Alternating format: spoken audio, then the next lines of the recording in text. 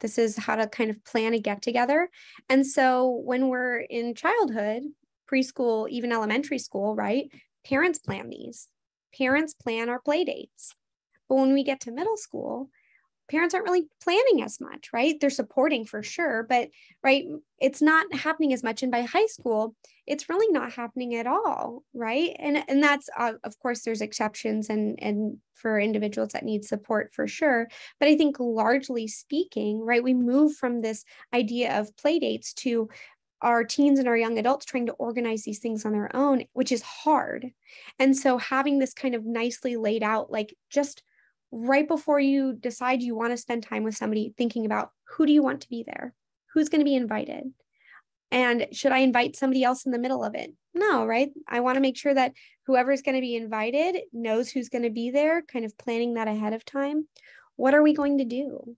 In the beginning, we really want to make sure, especially we're doing activity based get togethers, because that's where they can just learn from each other, but also not just stare at each other and I don't know what to say next, right? You have something to kind of occupy your time. The when, when is it going to happen? Saying something like, we should hang out sometime. That may never happen. So, concretely having a plan of like when it, it will happen, where will it be? Letting them know, is it going to be at my house, your house, etc. And how is it going to happen? Do I need tickets? Do I need a ride, etc. So, using these five W's to really plan okay, how am I going to have my get together?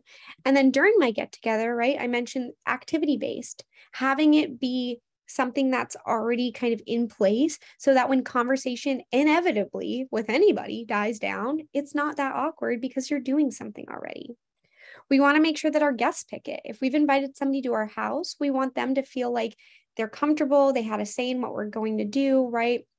And remembering that friendship is a choice and if my friend keeps picking the wrong thing or or a not fun game then i don't have to see them again or i don't have to keep hanging out with them again right? Just really following your your child's lead on that and going with the flow in the moment on and things kind of feel tough.